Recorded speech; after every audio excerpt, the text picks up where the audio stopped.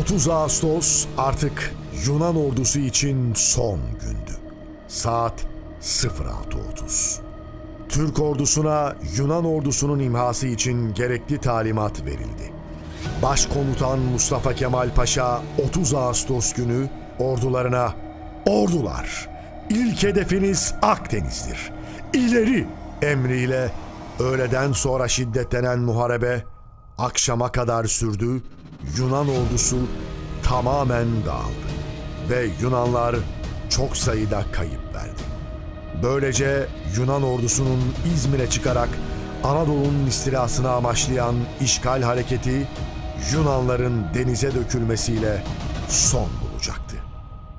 Gazi Mustafa Kemal Paşa'nın verdiği ileri emri doğrultusunda daima milletinin emrinde milletiyle birlikte yerli ve milli teknolojilerle donanmış Türk Silahlı Kuvvetleri gücünün ve sorumluluğunun bilincinde her geçen gün daha da güçlenmektedir.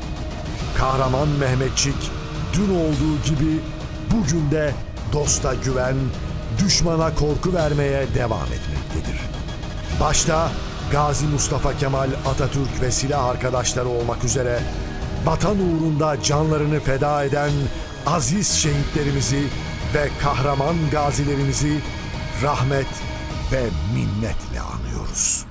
30 Ağustos Zafer Bayramı ve Türk Silahlı Kuvvetleri Günü kutlu olsun.